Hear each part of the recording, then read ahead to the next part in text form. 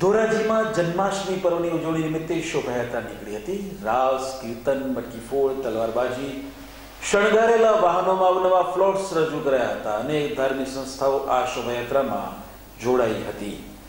ધારાસભ્ય શ્રી પ્રવીણભાઈ માકડિયા આ શોભાયાત્રામાં હાજર રહ્યા હતા. શિવ શક્તિ યુવક મંડળ દ્વારા સરબત સેવા આપવામાં આવી હતી.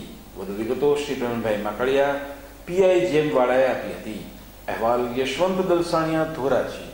મારું નામ હરેશ હરપા ધોરાજીમાં જન્માષ્ટમી નિમિત્તે અનેરો પર્વ ઉજવવામાં આવે છે અને શિવશક્તિયોગ મંડળ દ્વારા દર વર્ષની જેમ આ વર્ષે પણ લીંબુ શરબતનું આયોજન રાખેલ છે, જેમાં હજારો લોકોએ લાભ લીધો છે. ધોરાજી શહેરમાં પંદર ઓગસ્ટ તથા જન્માષ્ટમીના તહેવાર નિમિત્તે એક મોટી વિશાળ શોભાયાત્રાનું આયોજન કરેલ છે, જેમાં બંદોબસ્ત તથા કાયદો વ્યવસ્થાની પરિસ્થિતિ ટ્રાફિકનો કોઈ પણ પ્રશ્ન બનેલ નથી અને શાંતિથી શોભાયાત્રા આગળ વધી રહી છે. આજે ધોરાજીને આંગણે રાષ્ટ્રીય પર્વ નિમિત્તે પંદરમી ઓગસ્ટ અને ધાર્મિક તહેવાર ભગવાન શ્રી કૃષ્ણના જન્મદિવસનો મહોત્સવ ઉજવાઈ રહ્યો છે. ધોરાજીની એક પરંપરા રહી છે કે સૌરાષ્ટ્રમાં સૌ પ્રથમ ધોરાજીમાં ભગવાન શ્રી કૃષ્ણના જન્મ ઉત્સવની જે શોભાયાત્રા નીકળે છે એ